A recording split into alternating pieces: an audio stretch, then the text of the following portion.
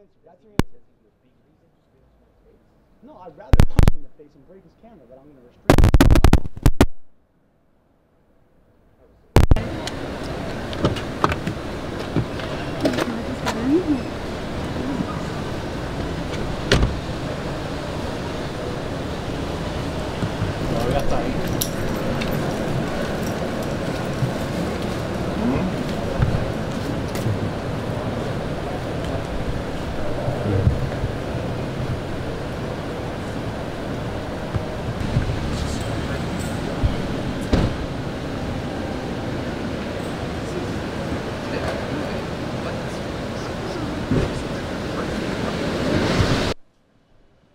That's the answer. That's your answer.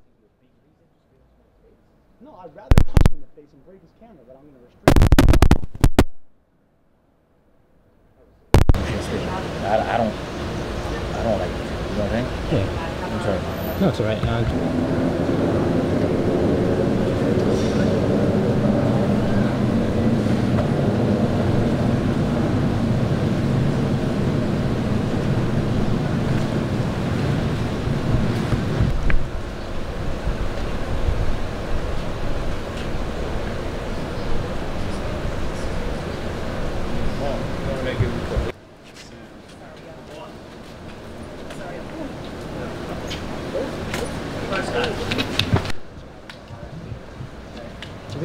can't do anything.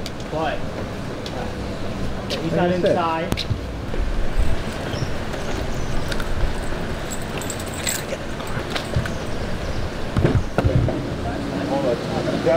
in front of police, you sit on it.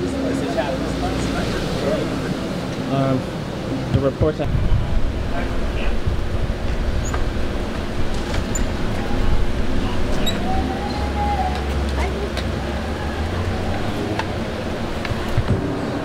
I- I, I know not to be on smile mode, and that's I'm just doing my job. I, I don't have to.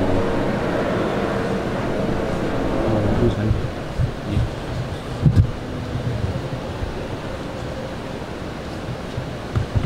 He spit on my face in front of the police.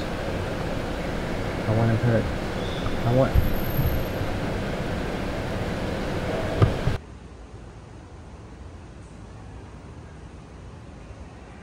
stop by here. It seemed pretty crazy. I mean, we actually we kind of saw the beginning of it. We walked right out and we saw I saw all the, the fire trucks and the two ambulances coming here, and then we saw the police kind of like waving them really quickly. So I thought something was pretty serious. We kind of backed off a little bit, um, but then we looked and it, it was pretty crazy. I mean, I'm sure we saw the first like 10 minutes.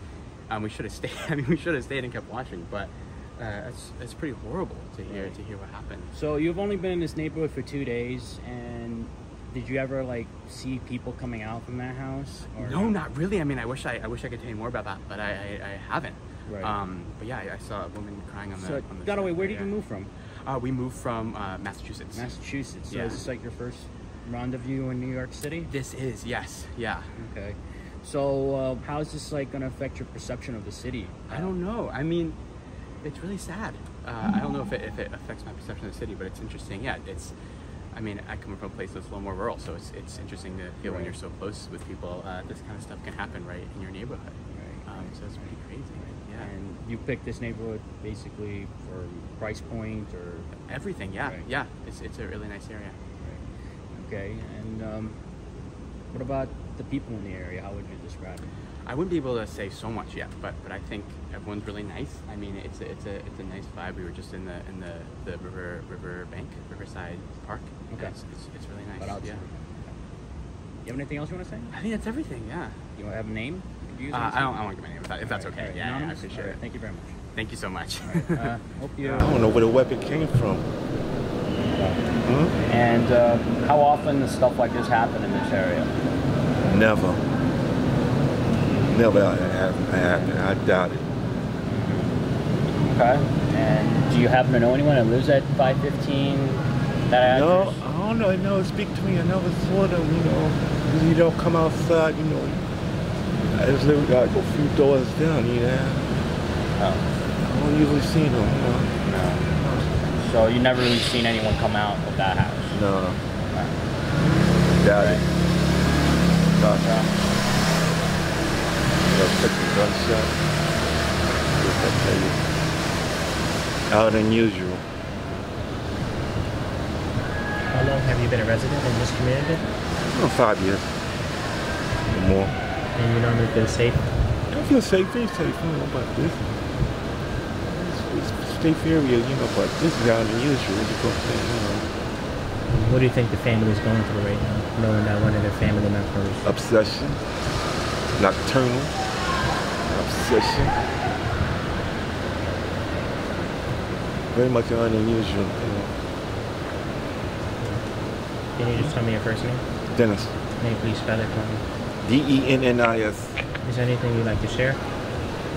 Nah, All right, thank you very much. You're welcome. Thank you.